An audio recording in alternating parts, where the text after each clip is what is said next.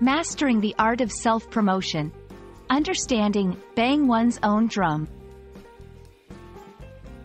Hello, everyone. Welcome back to our channel where we dive into the fascinating world of English language learning. Today, we're going to explore a very interesting phrase, bang one's own drum. This expression is a gem in English idioms, and understanding it will not only enrich your vocabulary but also give you insight into cultural attitudes towards self-promotion and modesty. So, let's get started and unravel the meaning and usage of this phrase together. 2. Bang one's own drum means to talk about oneself or one's achievements, often in a proud and self-admiring way. It's about promoting or praising oneself without any hesitation or modesty.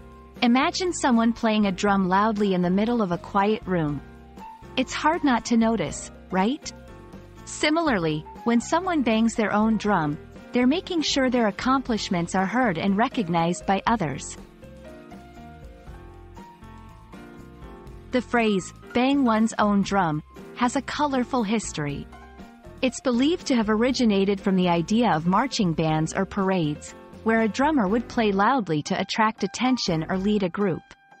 Over time, this literal act of drumming loudly to be noticed transformed into a metaphorical expression used to describe self-promotion.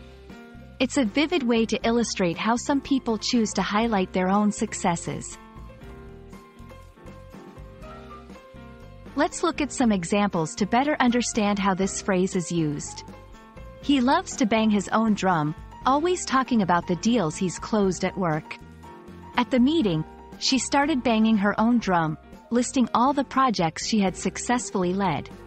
These examples show how the phrase can be used in various contexts, from casual conversations to professional settings, to indicate someone is self-promoting.